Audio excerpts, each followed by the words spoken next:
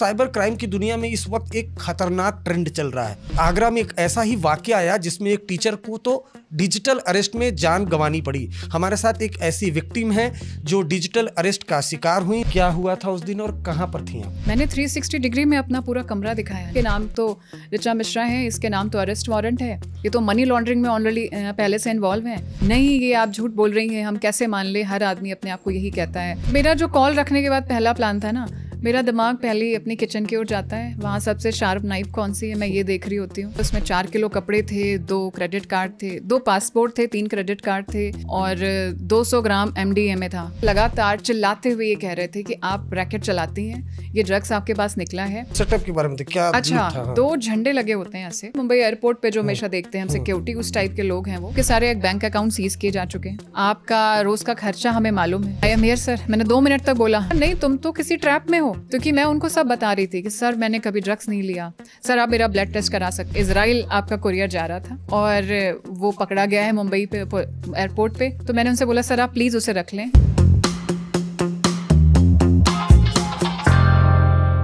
नमस्कार, आज तक रेडियो की स्पेशल पॉडकास्ट में आपका स्वागत है और आप देख रहे हैं अपना फेवरेट शो, क्राइम ब्रांच। दोस्तों, जैसा कि हम बताते हैं कि शो में हम लोगों से मिलते हैं, बातें करते हैं, कहानियाँ सुनते हैं उनसे, जिनका कभी ना कभी किसी न किसी तरह से क्राइम से लेना देना रहा है। दोस्तों, सबसे पहले शुक्रिया एक बार फिर से, जिस तरह से आप इस शो को अपना प्यार दे रहे हैं, इस शो को देखने के लिए आज तक रेडियो को सब्सक्राइब करें और अपना कमेंट ज़रूर लिखें। चाहे वो कैसा भी हो हेलो हाई भी लिख सकते हैं। दोस्तों साइबर क्राइम की दुनिया में इस वक्त एक खतरनाक ट्रेंड चल रहा है और वो खतरनाक ट्रेंड है डिजिटल अरेस्ट इसमें साइबर क्रिमिनल पढ़े लिखे लोगों को अपने घर में कैद कर लेते हैं। अपने घर में मतलब जो विक्टिम है, उसको अपने घर में कैद कर लेते हैं, फिर उनके अकाउंट से लाखों की रकम साफ़ कर लेते हैं। आगरा में एक ऐसा ही वाक्य आया जिसमें एक टीचर को तो डिजिटल अरेस्ट में जान गंवानी पड़ी। हमारे साथ एक ऐसी विक्टिम है जो डिजिटल अरेस्ट का शिकार हुई। नाम है रिचा मिश्रा। रिचा जी आपका बहुत स्वागत है और डिजिटल अरेस्ट को आपने फेस किया। कितने तारीख की ये घटना है? क्या हुआ था उस दिन और कहाँ पर थी आप? सर ये घटना पाँच अक्टूबर की है। दोपहर बारह बज के पंद्रह मिनट पे एक फ़ोन कॉल आया था मेरे पास। नंबर हम्म। इंडिया का ही था तो आप पिक कर लिया मैंने। हम्म। और हम जिस काम से हैं वहाँ पर हम हर सेव नंबर नहीं हम अनो नंबर भी उठाते हैं। हम्म। तो मैंने उसी तहत उठा लिया था। और फिर वहाँ पर मैं अपने घर पर थी शनिवार का दिन था। तो आप छुट्टी का दिन होता है हमारा। और उस दिन एक तरह से नंबर बना बचा और उसके बाद उन्होंने बोला कि वो फेडेक्स कुरियर कंपनी से आई कॉल थी हम्म। जिसमें आया कि आपके कुरियर की अपडेट के लिए आप वन दबाएँ हम्म। और अगर ट्रैक नंबर जानना है तो दो दबाएँ हम्म। तो मैंने एक नंबर दबा दिया क्योंकि मुझे लगा मेरे कुरियर को ही आना है फ्लिपकार्ट अमेजोन कहीं से भी आना होगा या किसी ने भेजा होगा तो उसकी अपडेट होगी उसके बाद करण वर्मा नाम के शख्स ने बोला कि हाँ बताइए हम आपकी क्या मदद कर सकते हैं? मैं फेडेक्स से बात कर रहा हूँ। तो हम्म। मैंने उनको वहीं बोला मैं कहा नहीं फेडेक्स से मेरा कोई कुरियर नहीं है। हम्म। आपके पास शायद गलत नंबर आ गया है। हम्म। तो मैंने कहा वैसे कॉल आपकी ओर से आई थी मैंने नहीं मिलाई तो कहेंगे कोई बात नहीं आपके नंबर हमारे पास है हम ट्रैक कर लेते हैं। तो उन्होंने ट्रैक किया तो उन्होंने बताया कि नहीं आपका एक कुरियर है और आप सेंडर हैं आपने भेजा है। और इसे मुंबई एयरपोर्ट पर सीज किया गया है। अच्छा। तो मैंने कहा सीज़ किया गया मतलब ये क्या है? फिर मैंने को बोला ऐसा है मैंने कोई कुरियर नहीं भेजा आपको कहीं गलती से नंबर कहीं मिल लग गया होगा। कभी कभी नंबर गलत मिल जाता कल के नहीं आपका आधार कार्ड इसमें वेरीफाई है। तो मैंने कहा आधार कार्ड नंबर बता दीजिए। उन्होंने जो बताया वो नंबर सही था। तो मैंने कहा अच्छा आधार कार्ड भी है। तो मैंने फिर उन्होंने बोला नहीं आप मेरी बात सुनिए पहले आप समझिए क्योंकि सीज़ किया गया तो मैटर थोड़ा सीरियस है। तो मैंने कहा सीरियस हो या नहीं हो इसका मैं क्या कर सकती हूँ? आप मेरा कोई लेना देना नहीं है इस कुरियर से? कहने लगे नहीं ये मुंबई से ताइवान भेजा गया है। इसके बाद मैंने और भी खारिज कर दी बात। मैंने कहा मेरा कोई लेना देना नहीं है आप प्लीज़ फ़ोन रख दें अगर आपका हो चुका है तो। तो उन्होंने बोला मैम आपका आधार हमारे पास है। शायद आपका आधार कहीं मिसयूज़ हो गया है। हम्म। जैसे आपने नंबर वाली बात बोली। तो मैंने कहा अगर मिसयूज़ हो गया तो हम मैं क्या करूँ? हम्म। तो कह लगे कोई नहीं ऐसा कई बार होता है। हम इसके बाद मुंबई पुलिस को कॉल ट्रांसफ़र करते हैं। वो आपसे ऑनलाइन रिकॉर्डिंग में आप उनसे कह दीजिए कि ये कुरियर की बात फेडेक्स से आई है। हम्म। मेरा कोई लेना देना नहीं है। और इसमें थोड़ी ऑब्जेक्शनल चीज़ें हैं तो वो अपने रिकॉर्ड में रख लेते हैं और बात ख़त्म हो जाती है। और ठीक ऐसे ही आप हमें भी रिकॉर्ड करवा दीजिए हम अपने रिकॉर्ड में रख लेंगे और बात ख़त्म हो जाएगी। क्योंकि कई बार ऐसा होता है आपके डॉक्यूमेंट्स आपने कहीं स्कैन कराए कभी कोई वॉलेट चोरी हुआ तो चले जाते हैं और लोग मिस करते हैं। और ये एक आम बात है। तो मुझे भी लगा शायद इतने आराम तरह से बता रहे हैं कस्टमर केयर सपोर्ट ही करते हैं हमें भी उसी की आदत है। हम्म। तो मैंने भी उनको वही सपोर्ट करना चाहा। हम्म। फिर मैंने पहले उनको रिकॉर्ड कराया। क्या रिकॉर्ड मतलब सिलसिलेवार अच्छा उन्होंने कहा कि एक बीप स्टार्ट होगी। आप उसके बाद आप बताइएगा कि इसके कुरियर से आपका कोई लेना देना नहीं है? तो मैंने सीधा बोल दिया कि मेरा इस कुरियर से कोई लेना देना नहीं, नहीं, है। मतलब- नहीं नहीं आपको मैं बता रही हूँ लेना देना नहीं है। और ये मुझेरा आधार नंबर कहीं पे फेडेक्स का कॉल आया। लेकिन मैं नहीं जानती हूँ। बीप बंद हो गई। फिर उन्होंने मुझे बोला कि आप अब मुंबई पुलिस को हम कॉल ट्रांसफ़र करेंगे वहाँ बोल दीजिए। तो मैंने कहा जो आपको बोला है आप रिकॉर्डिंग उनको भेज दीजिए। कह लगे नहीं आपके पास आप ऐसा करिए मुंबई पुलिस आपसे पूछेगी कि कुरियर में क्या क्या है तो मैंने कहा वो तो आपको पता है ना आप उन्हें बता दीजिए। कहेंगे नहीं आप अपने पास लिख लीजिए पेपर पेन लेके। मैंने पेपर पेन उठाया और लिखना शुरू किया।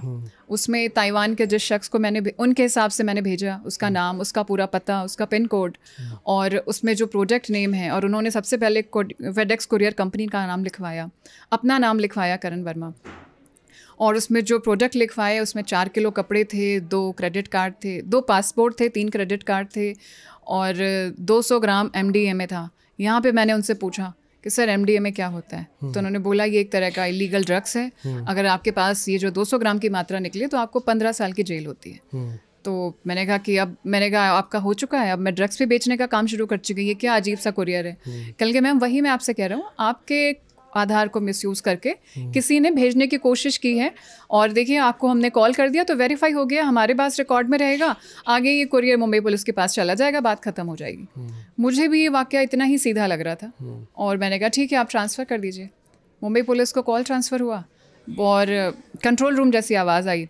तो उन्होंने मुझे बताया वो विनय कुमार चौधरी बोल रहे हैं और आपको क्या हेल्प चाहिए? तो मैंने उनको सीधा बताया कि फेडेक्स में ऐसे ऐसे कॉल था और उन्होंने मुझसे कहा है मैं आपसे बात करूँ आप मेरा जो स्टेटमेंट है आप रिकॉर्ड करेंगे जिससे मुझे आगे दिक्कत नहीं हो।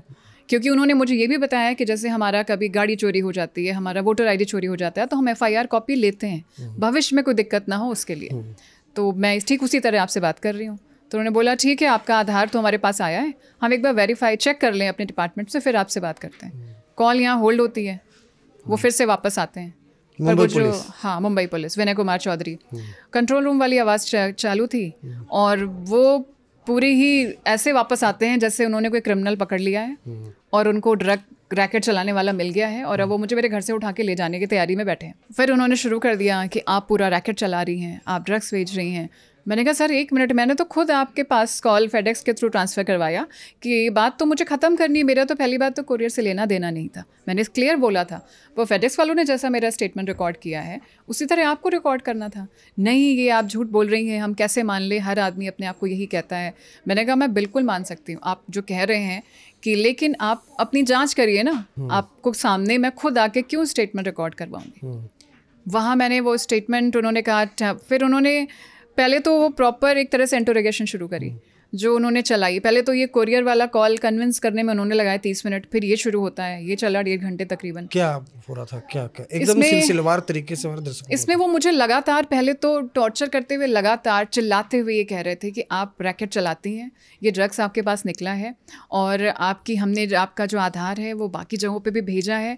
कई डिपार्टमेंट से हमारे पास वेरिफिकेशन होके बस अभी आने वाली है आपकी रिपोर्ट और अगर आप सही निकलेंगी तो हम रिकॉर्ड करके आपको जाने देंगे। तो मैंने कहा ठीक है आप कर लीजिए कितनी देर होल्ड करना। कहते नहीं आप बताइए। और आपकी जो ये आप मुझे कह रही हैं ये आपका ऑनलाइन रिकॉर्ड होगा।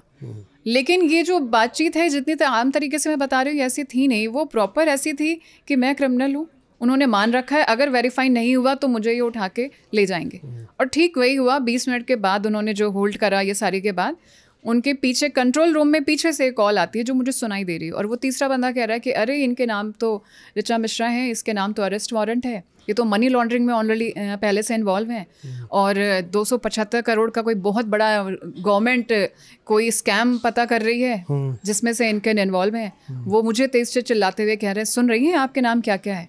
मैंने कहा मैं सुन रही हूँ लेकिन ये कौन सी चीज़ शुरू हो गई है? पहले मैं ड्रग्स में थी अब मैं मनी लॉन्ड्रिंग कर रही हूँ। मैं कहा सर प्लीज़ आपके सारे डिपार्टमेंट अगर आपने वेरिफिकेशन भेजा है तो प्लीज़ आप सारी जाँच करवा लें। कल ये वही तो कर रहे हैं आप समझ क्या रखा है हमने आपको। तभी तो मैं आपसे कह रहा हूँ आप पूरा रैकेट चला रही हैं। अच्छा। फिर उन्होंने बोला कि आपको डॉक्यूमेंट भेज देते हैं अगर आपको ये नहीं है। उन्होंने मुझे डॉक्यूमेंट भेजे। उसमें एक पंजापति सैयद हैं जो मनी लॉन्ड्रिंग केस में इन्वॉल्व हैं। और जिसमें चार चेहरे बन के आए हिना खान एक पुलिस वाले का चेहरा था। दो अरेस्टेड हैं उसमें से दो और थे। और मेरे नाम भी अरेस्ट वारंट निकला हुआ था। फिर उन्होंने बोला कि आपके हमें पासबुक मिली है। उनके पास पीछे से फिर एक कॉल आया कि इनकी पासबुक भी है दो करोड़ का फ्रॉड इनके नाम है। वो पासबुक थी बैंक ऑफ़ बड़ौदा की। मैंने उनको क्लियर बोला कि सर बैंक ऑफ़ बड़ौदा में मेरा कभी आज तक अकाउंट भी नहीं रहा और आप तो सब अगर जानते हैं तो प्लीज़ बैंक ऑफ़ बड़ौदा के किसी भी मैनेजर किसी भी ब्रांच से आप मेरा वेरिफ निकलवा लीजिए। मेरा अकाउंट भी निकला है तो बड़ी बात है। कल के नहीं आपने तो पूरा अकाउंट खोला हुआ है मुंबई ब्रांच से आपका पासबुक बना वो बना है बैंक पासबुक बनी हुई है। मैंने कहा नहीं मुंबई में तो मेरा कभी कोई एड्रेस तक नहीं है। मैं कभी वहाँ रेंट पे भी एक महीना नहीं रही तो एड्रेस कैसे डेवलप होगा? तो बोला नहीं यही तो आपने फ्रॉड करा हुआ है। और उसके बाद वो मुझे पूरी तरह से क्रिमिनल मानते हुए चालू हो जाते हैं। और बदतमीजियाँ लगातार चालू थी उसमें मैंने उनसे बोला भी सर आप किस तरह मुझसे बात कर रहे हैं? जब तक मेरा क्राइम जो आपके हिसाब से है जब वो पता ही नहीं चला है और मैं खुद को लगातार कह रही हूँ आपके साथ जाँच में सपोर्ट कर रही हूँ। क्या बदतमीजी कर रहे थे? वो लोग क्या कह रहे थे आपको? वो एक तो बहुत चीखते हुए बात करते हैं। फिर वो पुलिस करती हाँ नहीं पुलिस भी नहीं है वो बिल्कुल जैसे नहीं हम अब आपको मैं हमने शायद क्रिमिनल से हमारा वास्ता नहीं हमने फिल्मी सीन देखे हैं। वो बिल्कुल जो टॉर्चर करने पे नहीं आ जाते मानते हुए कि बस अब उसे आखिरी कागज़ पर लिखना है कि वो आतंकवादी है उसने ड्रग बेचा है और फिर वो जान छोड़ देते हैं। कई बार कबूलनामे भी हमने देखे हैं सीन ऐसे। तो वो ठीक वैसा था। और उन्होंने मुझे वहाँ तक कन्विंस करने की कोशिश कर भी दी थी कि मैं बोलूँ मैं ड्रग्स बेच रही हूँ मैं रैकेट चला रही हूँ आप बताओ आप क्या जो करना है आप करो और मुझे छोड़ो। वहाँ तक उन्होंने मुझे पहुँचा दिया था। और उसके बीच उन्होंने मुझ पर बहुत सारे आरोप उन्होंने बोला और भी डिपार्टमेंट से आपके बारे में चीज़ें आ रही हैं। तो मैंने बोला सर अगर एक जगह आधार गलत मिसयूज़ हुआ है बाकी जगह भी हो सकता है। ये तो ज़्यादा गंभीर मामला है अब उस पर जाँच करिए। नहीं आप ही चला रही हैं और आपका नाम हिना खान उसमें एक लड़की थी। हिना खान से जोड़ा है। आप ही हिना खान तो नहीं है। मैंने कहा आप प्लीज़ अपने डॉक्यूमेंट जो आप भेज रहे हो उसमें शक्ल आप मेरी मिला सकते हैं। आपके साथ में वीडियो कॉल पर हूँ। फिर उन्होंने बोला अच्छा ठीक है आप रिकॉर्ड करवाइए अपना स्टेटमेंट फिर उन्होंने मुझे बोला हम स्काइप पे इसको रिकॉर्ड करेंगे. तो मैंने कहा ठीक है। फिर उन्होंने स्काइप मैंने बोला मेरी फ़ोन में नहीं है। बोला डाउनलोड करिए हम आपको बताते हैं। तो स्काइप डाउनलोड करने में आपको ऐप में और आप किसी से बात कर रहे हैं तो उसमें टाइम लगता है। तो वो लगातार मुझे डांटते हुए कह रहे हैं कितना टाइम लग रहा है आपको? क्या समझ रखा है आपने हमें? तो मैंने कहा सर प्लीज़ आप मुझे वक्त दीजिए। और फिर उन्होंने बोला ऐसा करिए आप अपना डाटा बंद करिए जब स्काइप डाउनलोड हो गया तो मैंने कहा सर डाटा बंद कर देंगे तो स्काइप तो बंद हो जाएगा क्योंकि नेटवर्क आपका फ़ोन तो वाईफाई पर चल रहा है। तो मैंने कहा अच्छा ये अपडेशन आया आपके पास? कहते हैं हाँ आपका फ़ोन वाईफाई चल रहा था? हाँ फ़ोन वाईफाई पे था। हम्म, तो मैंने कहा अच्छा तो फिर आपकी वो इतनी पुख्ता जानकारियाँ तो मुझे लगा शायद ही वो साइबर सेल से हैं या वो पुलिस वाले ही हैं. तो मैंने कहा ठीक है मैं डाटा बंद कर देती हूँ. उन्होंने बोला कि आप हमें स्काइप से Mumbai police nine one one search करिए. जब मैंने सर्च किया तो पाँच छः आईडीज़ आई नहीं सिर्फ़ एक आईडी आई वेरीफाइड जैसी तो मैंने उस पर क्लिक कर दिया। और उन्होंने कॉल करवाया मुझसे। तो कॉल करने पे सामने एक नीली आर्मी की जैसी वर्दी में शख्स बैठा हुआ था। दो झंडे वंडे लगे थे उसके प्रॉपर सेटअप था उनका। जो अब सेटअप मुझे लग रहा मुझे तो पुलिस आर्मी वाले ही लगे। और उन्होंने मुझे सीधा बोला कि नहीं नहीं वो सेटअप के बारे में तो क्या अच्छा था? हाँ। दो झंडे लगे होते हैं ऐसे। और आपको बिल्कुल लगेगा कि मुंबई पुलिस के जो मुंबई पुलिस नहीं मुंबई एयरपोर्ट पे जो हमेशा देखते हैं हम सिक्योरिटी उस टाइप के लोग हैं वो। पीछे उनके माहौल लग पीछे भी झंडे होते हैं। हमारे जो महापुरुष लोग बड़े बड़े हैं जो हम देखते हैं कानून में उनकी फ़ोटोज़ होती हैं तो। और वो स्ट्रेट पूरा उनका जो लुक है वो भी पूरा आर्मी वाला है। Look in the sense dress से नहीं उनकी फिटनेस जो है। ओके। और उनका जो बोलने का तरीका है वो जो ऑर्डर फॉर्म में बोलते हैं और अंग्रेज़ी बहुत अच्छी बोलते हैं तो उस उसमें वो बात करते हैं। बीच बीच में मुझसे चेक भी कर रहे थे कि मैंने जो बोला है आपको समझ आया है? मैंने कहा हाँ। फिर उन्होंने कहा ऐसा शुरू करिए आपको जो मैंने डॉक्यूमेंट भेजे हैं उसको आप पढ़ना शुरू करिए। तो मैंने कहा सर मैंने देखा वो डॉक्यूमेंट अब मैं आपको यहाँ पे ऐड करूँगी। पूरा उन्होंने मुझसे स्टार्ट से लेके एंड तक पूरा डॉक्यूमेंट पढ़वाया। क्या क्या जैसे थोड़ा बहुत क्या पढ़ रहे उसमें आप पढ़ रहे थे? हाँ मतलब जो मनी लॉन्ड्रिंग का फ्रॉड था उसमें मुझे पता चला कि दो सौ पचहत्तर करोड़ का ये मनी लॉन्ड्रिंग फ्रॉड है। वो आपने किया? वो मैंने करा है उसमें दो करोड़ मैंने करे हुए हैं। बाकी तो उन लोगों ने किए हैं दो लोग अरेस्ट हैं। फिर उन्होंने बोला कि ऐसा करिए आप अपना स्टेटमेंट रिकॉर्ड कराइए। तो जो आपके पास चीज़ें लिखवाई गई हैं वो आपको बोलनी पड़ेंगी। तो क्या आपको पढ़वाया हाँ, था उन्होंने मुझसे कहा कि जो आपको फेडेक्स ने लिखा भेजा है आप उसे पढ़ते हुए अपना स्टेटमेंट रिकॉर्ड करवाइए। तो मैं यहाँ पढ़ती हूँ वो चीज़ें। उन्होंने पहले लिखवाया था department name FedEx courier company customer का नाम करण वर्मा रिसीवर नेम जो मैं मुंबई से ताइवान भेज रही हूँ वो जैंग लिन को भेज रही थी। उनका मोबाइल नंबर था double eight six two seven three seven double eight nine और रिसीवर का एड्रेस था house number one one two oblique three सैनीबेई road peppy city district Datong Taiwan parcel की ट्रैकिंग आईडी भी उन्होंने मुझे लिखवाई। पार्सल में पाँच पासपोर्ट हाँ जो शायद मैं भूल रही थी। पाँच पासपोर्ट तीन बैंक क्रेडिट कार्ड पाँच किलो कपड़े, एक एचपी का लैपटॉप और 200 ग्राम एम डी ये और ये सारी चीज़ें थी और इसकी पेमेंट की गई है सोलह हज़ार सात सौ चौवन रुपये जो की गई थी आईसीसीआई के क्रेडिट कार्ड से। अच्छा। जिसकी चार डिजिट लास्ट की उन्होंने बताई मुझे वन डबल फाइव वन यहाँ पे भी मैंने उनको बोला कि सर ये मेरा क्रेडिट कार्ड का नंबर नहीं है। तो यहीं पर ये बात ख़त्म हो जाती है। उन्होंने बोला ये आप नहीं बताएँगे कि आपने फर्जी क्रेडिट कार्ड भी बना रखे होंगे? आप जब इतना बड़ा रैकेट चला रही हैं। हर उनकी लाइन पे मुझे मानना ये तय था कि मैं रैकेट चला रही हूँ मैं ड्रग्स बेच रही हूँ मैं ड्रग्स ले रही हूँ और सब कर रही हूँ मैं। तो आपने कन्विंस भी कन्विंस भी उन्होंने कर नहीं था कि उन्होंने कन्विंस नहीं। पहले फेडेक्स वालों ने तो नॉर्मल किया पर ये कन्विंस कराने की ओर पूरी तरह से चिल्ला चिल्ला के कि आपको कराना पड़ेगा आपको जाँच करानी पड़ेगी।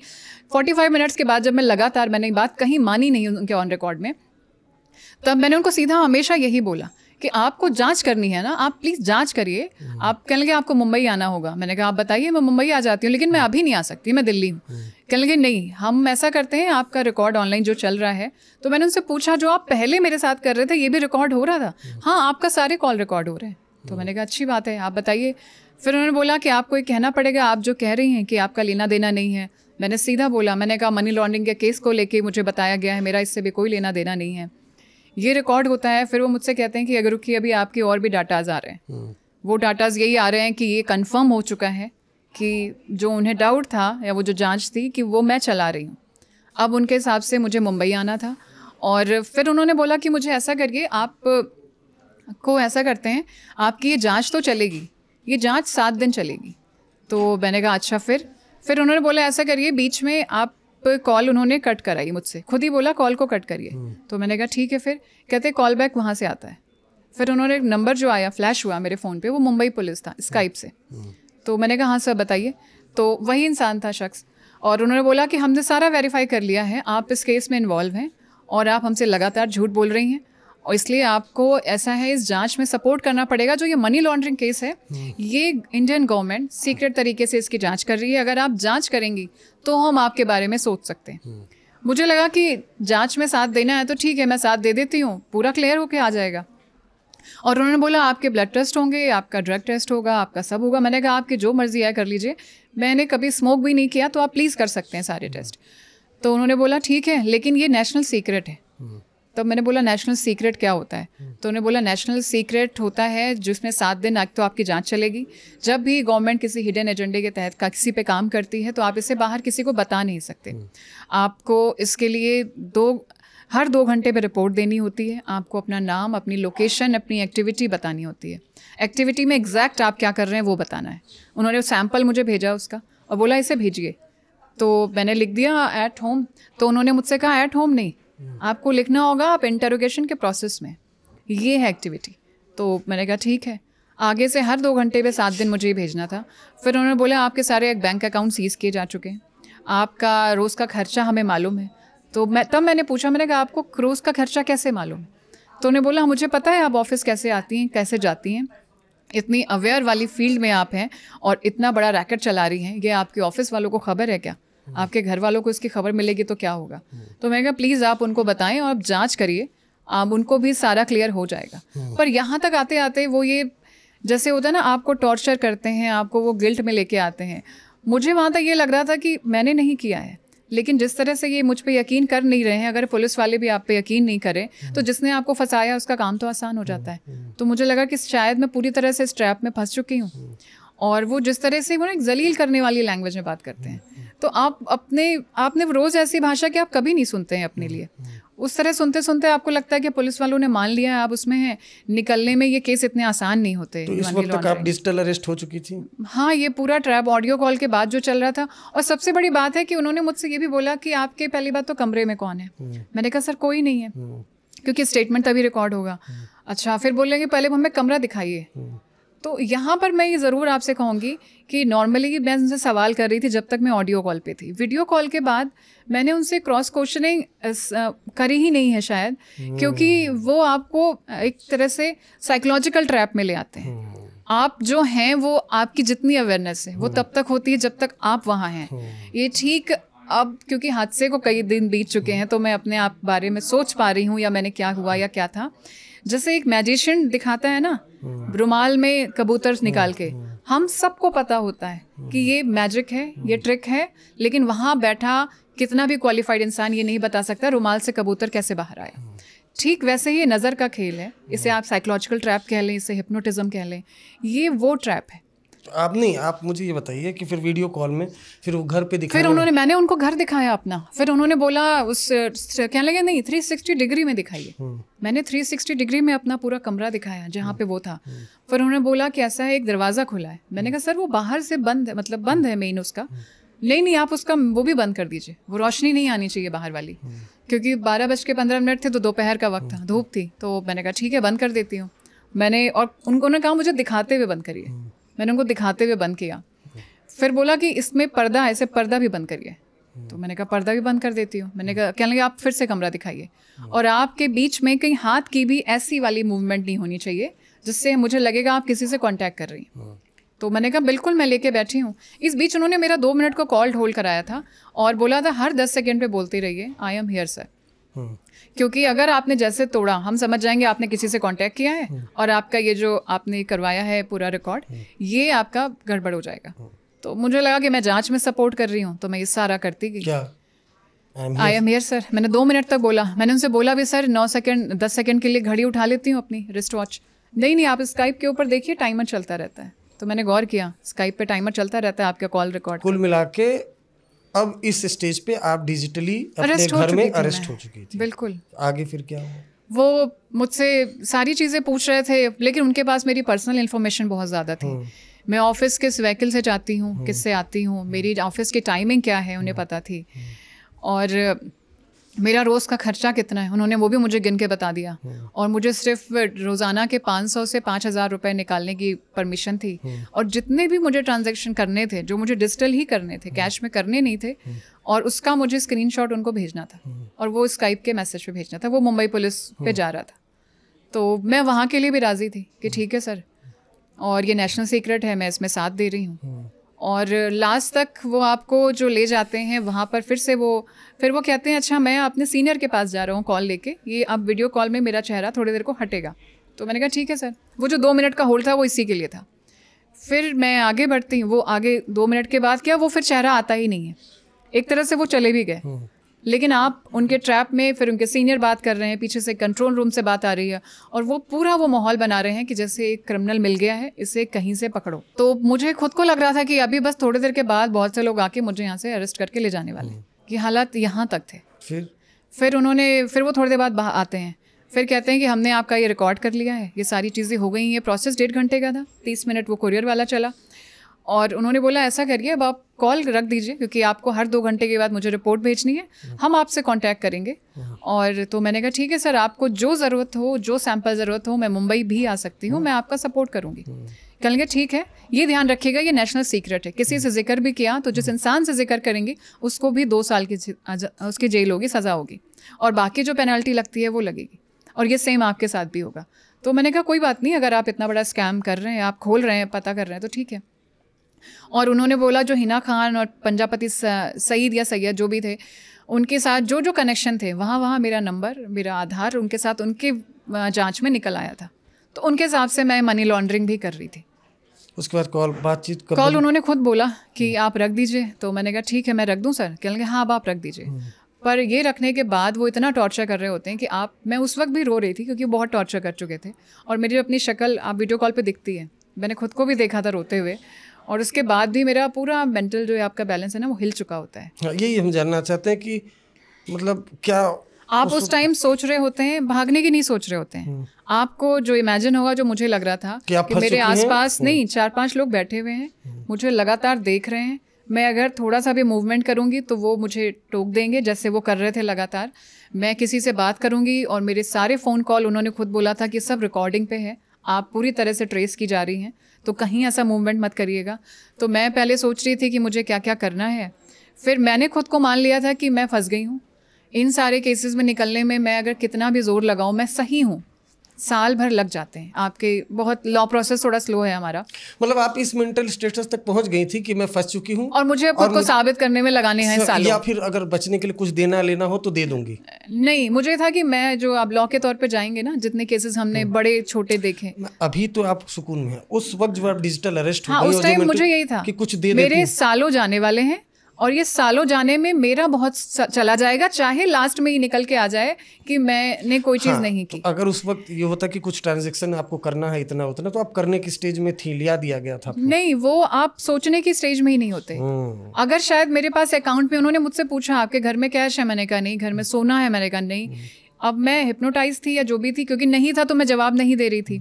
लेकिन अगर होता तो मैं बोलती और वो जिस तरह करा रहे थे मैं शायद उनको खुद हाथ में मुझे लगता मैं कैश भी हैंड ओवर कर देती मैं ट्रांजेक्शन भी कर देती मैं सब कर चुकी होती। पर उस दो घंटे में उन्होंने मुझसे कैश की डिमांड की नहीं थी। कॉल के बाद क्या हुआ फिर? कॉल के बाद मुझे ये लग रहा था जितना उन्होंने मुझे एक्चुअली जलील किया था सही शब्द ये है। उसके बाद मुझे लग रहा था मेरा सब खत्म है। मैंने कभी ज़िंदगी में इतनी अपने बारे में चीज़ें नहीं सुनी थी। मुझे लगा ड्रग्स रैकेट है मेरे घर में मेरे ऑफ़िस क्योंकि ऑफ़िस में ना आपका अगर ये प्रोसेस भी चलता है कोई भी ऑफ़िस आपको थोड़ी देर के लिए उससे कहता है कि आप थोड़ा ब्रेक ले लीजिए। वो ब्रेक क्या होता है हमें सही शब्दों में पता होता है। तो मुझे लगा मेरा करियर भी ख़त्म है मुझ पर कौन यकीन करेगा? और ये लोग तो पुलिस वाले इतने सारे मुझे पता नहीं कहाँ कहाँ मेरा निकला है। और उसके बाद आपको वहाँ तक पहुँचा देते हैं ना कि आप थोड़ी देर को ये भी सोचते हैं कैसा ऐसा करते हैं खुद का ही काम हम खत्म करके ना ज़िंदगी में बढ़ते हैं क्योंकि इन केसेस से तो आप निकल नहीं सकते पूरा जाल बिछा हुआ है और हर सेकंड आपको लगे ना कोई आपको देख रहा है। वो चीज़ बहुत डरावनी होती। कॉल के बाद आपने फिर किसी को कॉल किया? मैंने मैं पहले रो अच्छा खासा हिली हुई थी पहले तो आप बैठ जाते हैं एक सदमे में। आप मैं सही बता इसके बाद मुझे ये लगा ही नहीं मैं घर से भागूं कमरे से निकलूं क्योंकि मुझे लगा हर जगह तो ये लोग फैले हुए हैं। हम्म, हर जगह तो ये तार बिछे मुझे ये फील आ रहा था कि तार बिछे हैं मेरे आसपास और मेरा हर मूवमेंट मैं आइज़ भी ब्लिंक करूँगी तो वो कहीं ट्रेस हो रहा है। फिर आ, एक घंटे बीतते हैं मेरे इस सारी हालत के बाद। तकरीबन फिर मैंने कहा सोचा कि जब सब बिगड़ ही चुका है मैं यहाँ तक आ गई थी कि मैं खुद के साथ भी कोई ऐसा कर लेती हूँ। हो जाएगा काम खत्म। इतनी बदनामी इतनी कैसे मतलब नहीं सही जा रही कर लेती हूँ खुद के साथ? आप ऐसा मतलब मेरा जो कॉल रखने के बाद पहला प्लान था ना मेरा दिमाग पहले ही अपनी किचन की ओर जाता है। वहाँ सबसे शार्प नाइफ कौन सी है मैं ये देख रही होती हूँ। उठाती नहीं हूँ मैं लेकिन मेरा ध्यान वहाँ गया था कि यही वाली शार्प है। फिर उसके बाद वो ब्रेक होता है फिर मैं सोचती हूँ कि जो मैंने स्टोरीज में हमेशा पढ़ा है सुसाइड केसेस में या अननोन मुझे लगता है ना हमेशा बाप के मरने की या जीने की वजह होनी चाहिए। अचानक से जो एक्सीडेंट होते हैं ना वो परिवार को बहुत तोड़ देते हैं। तो मेरा ये जो हमेशा खबरों को पढ़ के थॉट था तो मुझे लगा मेरे माँ बाप को वजह पता होनी चाहिए। ये सब जो है बाकी जब होगा वेरिफिकेशन होता रहेगा तो मैंने कागज़ में ये सब लिखा और फिर सोचा कि इस वक्त क्योंकि फैमिली वाले इस तरह की बातें सुन के पैनिक होते हैं। कौन इस वक्त बैलेंस करेगा?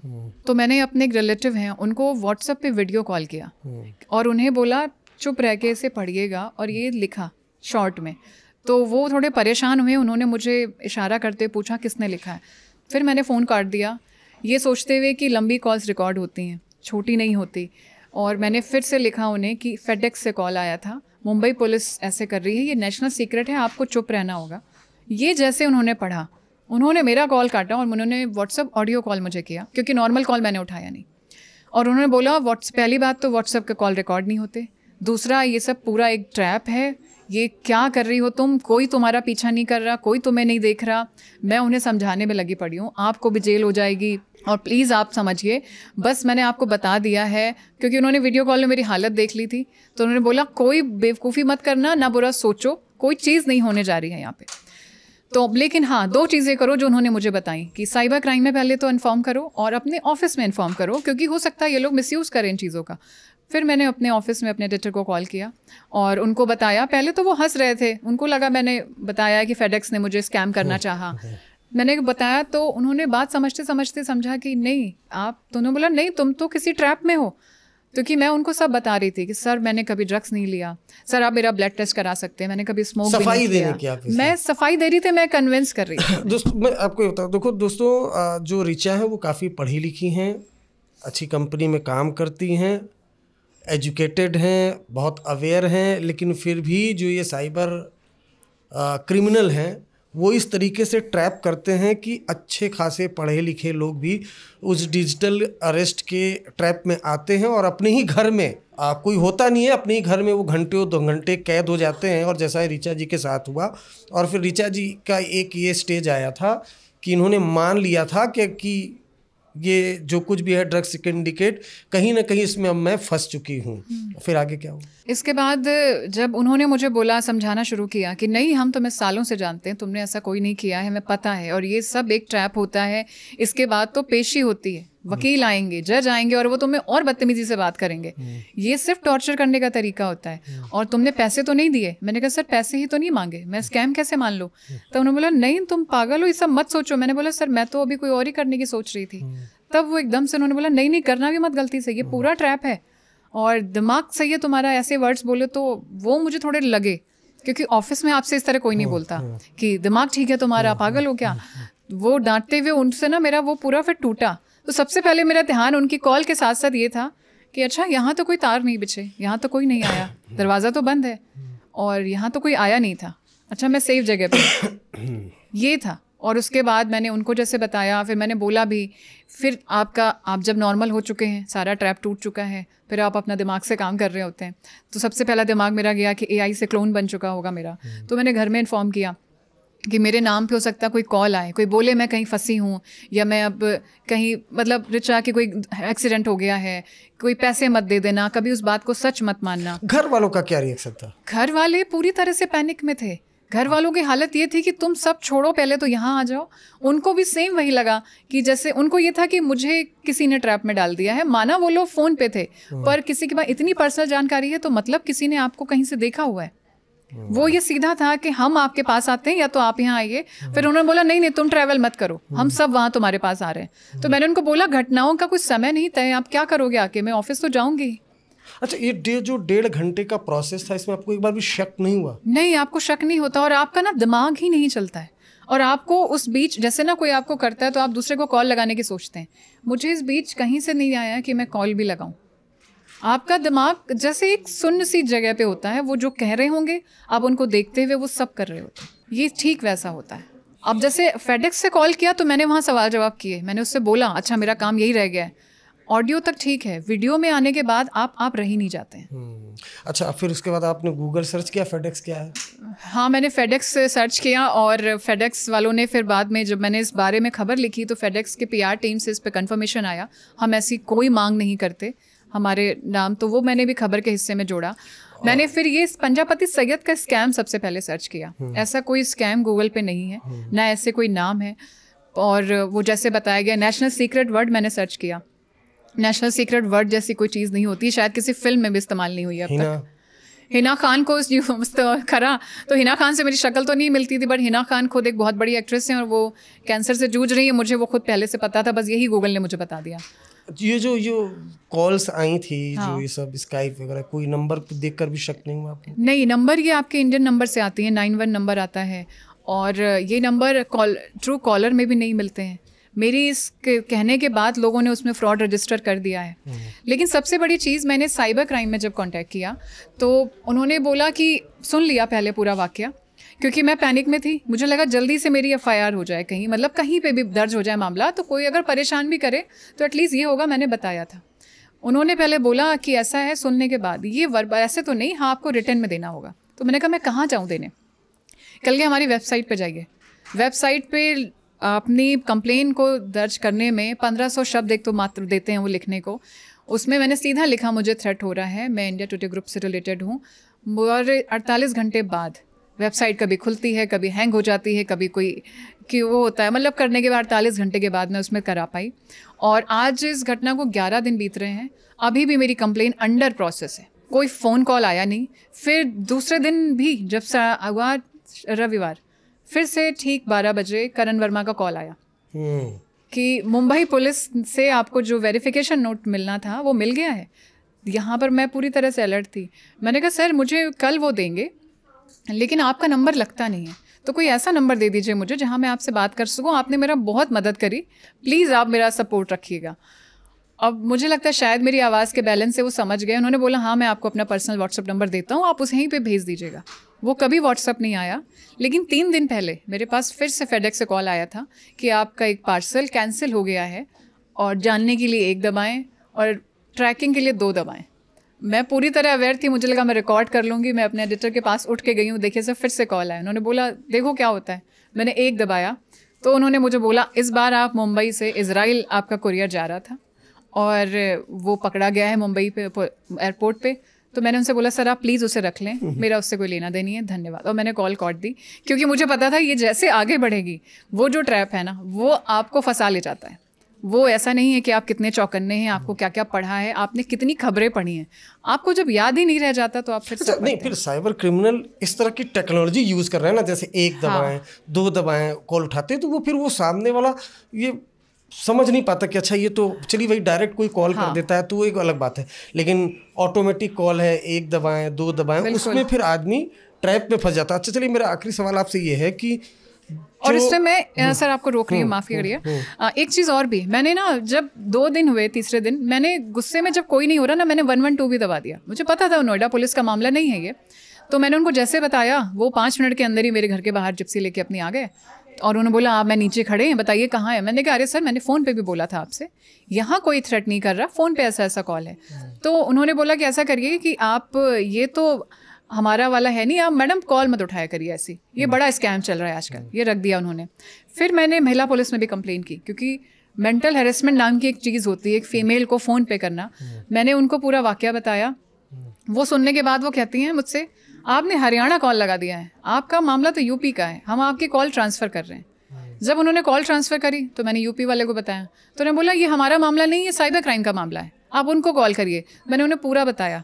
कि मैंने कॉल किया था रजिस्टर करी है। लेकिन यहाँ पर मुझे एक चीज़ नॉक हुई कि जैसे फेडेक्स वाले ने मुझसे बोला मैं मुंबई पुलिस कॉल ट्रांसफ़र कर रहा हूँ मैंने सारा कहानी बता दी। सेम तो यूपी पुलिस भी यही कर रही है। तो मैं उस कोई मुझे फ़ोन करके बोले अगर फ्लिपकार्ट का भी अगर हम आपकी मैम कॉल ट्रांसफ़र कर रहे हैं जैसे मुझे नोएडा पुलिस महिला पुलिस ने किया तो मैं क्यों नहीं यकीन करूँगी? क्योंकि हम इन्हीं ऑनलाइन प्रोसेस से गुजरते हैं। हम्म, हम्म, हम्म। नहीं मेरा आपसे एक आखिरी सवाल है हमारे जो दर्शक हैं उनके लिए कि आप उनको क्या मैसेज देना चाहेंगे इस ट्रैप के बाद? मैं इस ट्रैप के बाद यही कहूँगी कि आप किसी अननोन कॉल को मत उठाइए और आपको कोई कितना भी यकीन दिलाना चाहे, आप इस पूरे साथ बैठिए कि आपने गलत नहीं किया है। हम डर जाते हैं क्योंकि हमारा जो लॉ सिस्टम है, जैसे कि मुझे अभी गुस्सा करण वर्मा, विनय कुमार चौधरी पे तो बिल्कुल नहीं है, ना फेडेक्स पे है। मुझे ये है कि इतना बड़ा हादसा हो गया और आज मेरे पास ऐसी कोई चीज़ नहीं है मेरी कहीं एफआईआर दर्ज नहीं है। एक टिकट जनरेट हो गया है कि इस थाने में आके अगर आपको जानकारी चाहिए आप इंटरेस्टेड हैं तो आके उनसे बात कर लीजिए। दो मोबाइल नंबर है उसमें। अदरवाइज़ वो इंटरेस्टेड नहीं है। मेंटल क्योंकि मेरे साथ ठगी नहीं हुई लाखों लुटे नहीं मेरे लेकिन मेंटल हेरेसमेंट नाम की चीज़ भी होती है। आपको टॉर्चर किया जा रहा है अगर आपको कमरे में बंद किया जा रहा है। मैं ये भी चीज़ सोच रही थी कि अगर मैं राह चलते निकलूँ कोई लड़का मुझे छेड़ दे पुलिस वाले खड़े होते हैं। मैं कंप्लेन करने जाऊँ, वो उसको उठा के दो थप्पड़ बिना पूछे रसीद कर देंगे। ये मुझे मालूम है, पुलिस वाले हमारा सपोर्ट करते हैं। लेकिन यहाँ पर इतना सब हो गया और मैं तीन डिपार्टमेंट कॉल कर चुकी हूँ। वो कह रहे इनका मुद्दा है, उनके थाने का मुद्दा है, यहाँ का मुद्दा है। आज ग्यारहवां दिन है और लिखा हुआ है अंडर प्रोसेस इस कंप्लेन का कोई मतलब नहीं, ये मैं इसलिए मेंशन कर रही हूँ, दोस्त दर्शकों को भी, कि आप पहली बात तो ये मामले दर्ज ज़रूर कराएँ, क्योंकि दो महीने में इन लोगों ने 400 करोड़ की ठगी की है। ये वो मामले हैं जो रजिस्टर्ड हैं। लेकिन आप ये सोच के आप घर बैठ जाएँ, सबसे बेस्ट तरीका है अननोन नंबर मत उठाइए। और अगर कोई आपसे बोल रहा है फेडेक्स है या आपने ऑर्डर भी किया है तो प्लीज़ कॉल कट कर दें। आपका कुरियर आने दें, नहीं आया तो आपके थोड़े पैसे जाएँगे। ऐसे आपकी बहुत सारी चीज़ें चली जाती हैं। देखिए, रिचा मिश्रा एक जर्नलिस्ट हैं, इस वजह से इन्होंने अपने होश आने के बाद अपने दोस्तों से, सहयोगियों से बात की। वो डिजिटल अरेस्ट को लेकर अवेयर थे, इसलिए इनको जानकारी दी। नहीं तो दूसरे मामलों में ये होता है कि लोग तीन से चार दिन तक डिजिटल अरेस्ट ही होते हैं और उसके बाद जो प्रोसेस होता है वो उनके अकाउंट से पैसा ट्रांसफ़र करा लेते हैं जो साइबर क्रिमिनल होते हैं डिजिटल अरेस्ट करके। और इसमें होता है कि वो फिर जो साइबर क्रिमिनल हैं वो अपने व्हाट्सएप की डीपी पे किसी पुलिस वाले का पिक्चर लगाते हैं फिर वो कॉल करते हैं कि आपको फला केस में फंसा गया है और तमाम इस तरह के ट्रैप होते हैं। तो इस तरह का कोई नंबर खुद से कॉल आता है किसी पुलिस की डीपी लगी होती है तो आपको विशेष सावधान होने की ज़रूरत ज़रूरत है। आ, हम ये भी अवेयर कर दें कि इसी तरह से का एक मामला आगरा में आया था जिसमें एक टीचर को आ, जो साइबर क्रिमिनल है उन्होंने कॉल करके कहा कि आपकी बेटी सेक्स रैकेट में पकड़े गई है और आ, अगर छुड़वाना है तो पैसे दो वो टीचर अपने घर पर आती हैं और हार्ट अटैक से उनकी मौत हो जाती है। तो दोस्तों ये जो हमारा क्राइम ब्रांच का ये स्पेशल पॉडकास्ट था आ, इसमें हम आपको बताना चाहते हैं कि आप इस तरह के किसी भी कॉल से सतर्क रहिए और आपको कोई इस तरह से थ्रेट करता है कि आप ड्रग्स के केस में फंस गए हैं या फिर किसी और केस में फंस गए हैं तो आप उस कॉल को डिसकनेक्ट कर दें और लोकल पुलिस से ज़रूर संपर्क करें। शुक्रिया ये एपिसोड देखने के लिए।